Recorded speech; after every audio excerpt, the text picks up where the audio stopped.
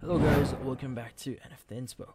For today's video, here going to show you Group Chats, Argon, and Character AI app. What can you do? So if you're interested, let's start the tutorial. Now in this case, you might be wondering why the Group Chats option and Character AI is missing. As you can see right now, the Character AI app here has a different look. So whenever you click on the create button that you see at the very bottom center of your screen, you only have the following options, character, persona, and voice. Now in this case, you might be wondering, where is the group chat functionality here? Now in this case, uh, you might be wondering why all your group chat as well is missing. Well, currently, character AI is on uh, type of maintenance. So meaning you're not the only one that experiencing this problem here.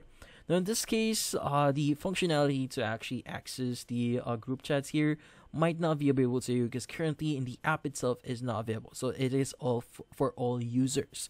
Now in this case, what can you do? Well, in this case, you can actually access their old site for you to, if you really want to still use the group chat functionality, you can access the old site that they have.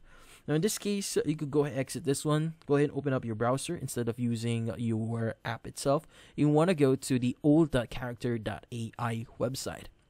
Now in this case, go ahead and log in into your account and from here you should see the create button. So whenever you click on it, as you can see, we still have the create a room functionality. In this case, go ahead and click on create a room here. And from here, you could go ahead and specify the room name, add characters if you want to, and add the room topic, but it is optional this case, you should be able to create your room here or your group chats. And in this case, uh, currently that is the only thing that we could do right now. While Character AI is actually fixing a few things on their app and in their website.